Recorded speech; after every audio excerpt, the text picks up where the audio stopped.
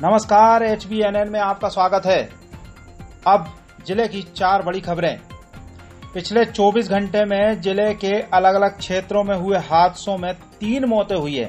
बनखेड़ी में, जहाँ tractor trolley पलटने से एक युवक की मौत हो गई है तो बाबई में एक युवक पर ट्रैक्टर ट्रॉली चढ़ा देने से उसकी मौत हुई है। इधर पचमढ़ी में दीवार गिरने से एक व्यक्ति के मौत होने की जानकारी मिली है। अब सबसे पहले बनखेड़ी में हुई दुर्घटना के बारे में आपको बता दें। बनखेड़ी में मछेरा कला गाँव के पास ये घटना घटी है।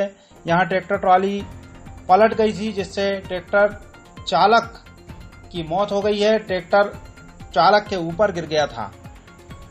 ट्रैक्टर चालक नरसिंहपुर के सनखेड़ा गाँव का बताया जा रहा है।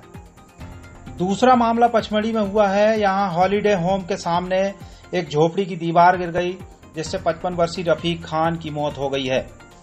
तीसरा मामला बाबई का है। यहाँ सांगाखेड़ा आरी रोड पर माखनलाल चोरे के खेत में उमाकांत यादव ने रोहित बंसकार नाम के एक युवक पर ट्रैक्टर ट्राली चढ़ा दी, जिससे युवक की मौके पर ही मौत हो गई।